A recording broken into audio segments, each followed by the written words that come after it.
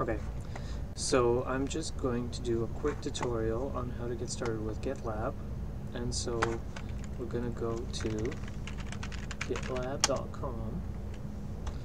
And then if you don't already have an account, and don't click get free trial, but instead click login over here. Okay, and then you're going to click register now. And then you can register here, say you're not a robot, and register. Um, if you have any issues with that, you can contact me and I'll uh, help you sort that out. Um, anyways, I already have an account, so I'm just going to log in. And you got an invitation to the project. You should see it under here. So if you submitted your volunteer thing, then you have an invitation for the confidential one. Uh, but right now we're just going to look at the, uh, the public one. Uh, so here we're going to be adding some minutes. So the secretary is, is generally in charge of the minutes. And so you see uh, I clicked on BGOS and then I click on minutes over here. And uh, you see these are all the minutes. And um, here the last ones was in uh, there was a coordination meeting minutes and now we're going to add, you see there's this little plus sign over here. Okay, so uh, we're going to upload a file uh, and it's in my downloads. Here it is. Open. Okay. Uh, uploaded new minutes. Okay. And we're going to upload the file. Don't worry about the target branch. It's going to be the master. Okay. And so now, hold on. So over here, the uh, name is not fitting the uh, convention. So we want to rename it 2021-10-07 uh, dash draft minutes. Okay, so we're going to click on Web IDE over here. Well, we clicked on the file. Now we clicked on Web IDE. Then we got, go down here and then you there's a drop down menu and then you click rename and move. Rename. Okay and then we're going to rename it here. 2021 dash 10 dash 07 draft minutes rename file. Okay and now we're going to commit the change. Okay you see see it's been changed but we still have to commit the change um, and so we see this is the uh, default message and that's that's good enough and but we want to commit this to the master branch. Okay the master branch is the main branch. We don't need to have multiple branches uh, at this time and so we're just going to commit Okay. Oh, wait. Uh, no. Well, okay. It, it says error occurred while loading the file content. Don't worry about that.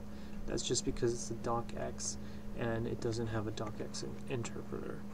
Um, so if later on you want to, uh, what do you call it, uh, change it, you can uh, download this one make some edits, and then upload it again.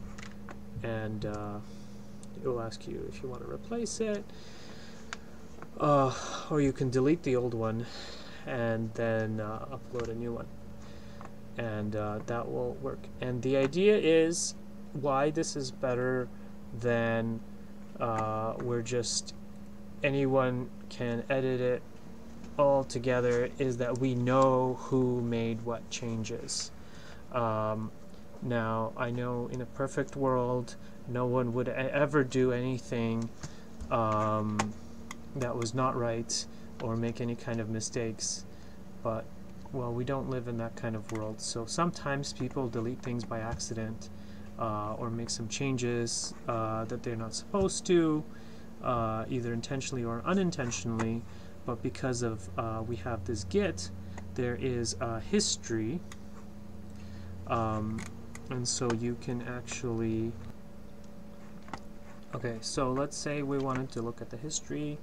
Uh, so we can just look at the history um, and you can see here I updated, here I added new minutes, added minutes, added minutes, added minutes. So, so this is all the history of everything that's happened in this folder and who made the changes. Um, and uh, well, you see I got two accounts. One is Andrew and one is LibreIT. And um, basically uh, we can see who did what. Uh, and that is a great benefit for uh, doing policy, uh, managing policy for a group, a disparate group of people, so that you know who did what. Um, both so, you know, you could do, uh, give, give credit where credit is due, as they say. All right.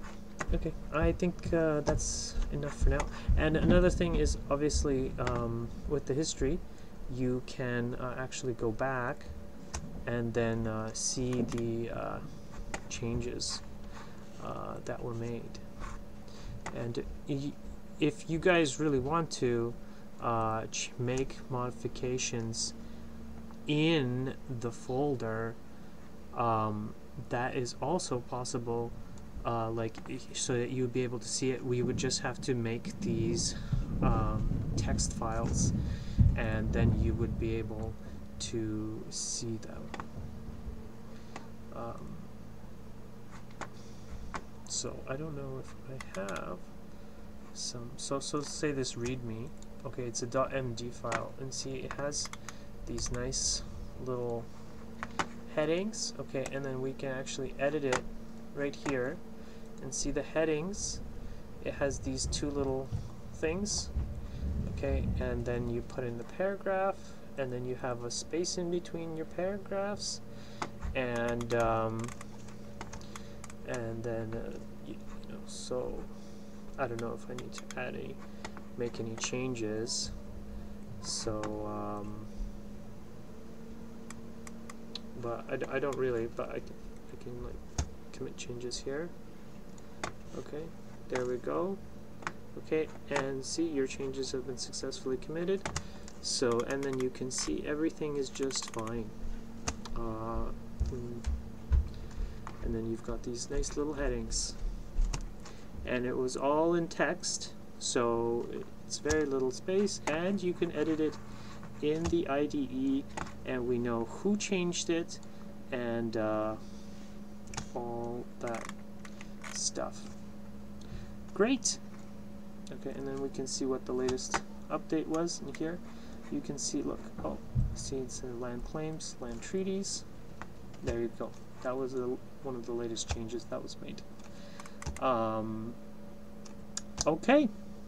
Alright, so uh, I hope you have a little better understanding of GitLab now um, and are more interested in using it. And uh, one of the other benefits, of course, is that uh, because it has this nice folder layout. You know, there's the BGOS, the GPC, the GPO. You know, we can like see here's the Constitution, and then uh, the GPO. You can see the Constitution and the policies, and uh, so the Global Greens. You can see the Charter.